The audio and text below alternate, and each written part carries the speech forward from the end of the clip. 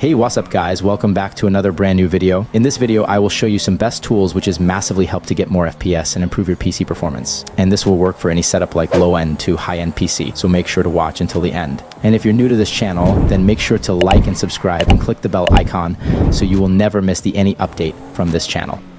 So guys, in the very first step, you're want to open Windows properties. And once you have Windows properties, you should be to click on advanced system settings. It should open a pop-up. Then make sure to you're in the advanced tab and then click on settings. And once again, go to the advanced tab and click on change down by virtual memory. Now uncheck this automatically option. Then go to your system drive and click on custom size. Set both of them to 4096 and click set. Now you good to go.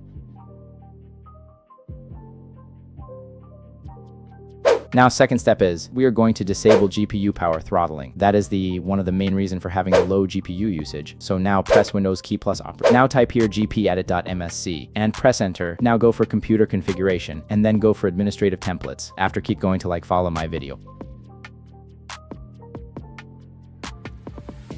And after that, you will find here power management. Now go for it and then go for power throttling and click on turn off power throttling now enable it for disabling the power throttling from your window. After that, hit apply and click OK. Now you need to go back into the computer configuration. And again, open up administrative templates. Now go for Windows components and then go for app privacy. Now you will find here, let's Windows app run in the background. So open up and enable it. And after you that now go for default for all apps and set as force deny. Now hit apply and click OK.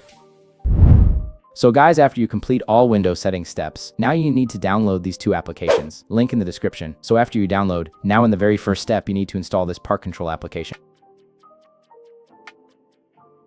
And after installation, you will find out this kind of interface of ParkControls. Now you need to go for CPU settings for power profile, and then click on it. Now set as high performance, and then click on make active. Now hit apply and close the application. Now in the next step, here we got MSI mode utility for our GPU settings. So open up and make sure to open up as administrator. So guys, now here you will find out your GPU. Here's my GPU AMD Radeon RX 6600 XT. And now go for interrupt priority and set as high for having the maximized performance for your GPU. After that, now hit apply and close the application.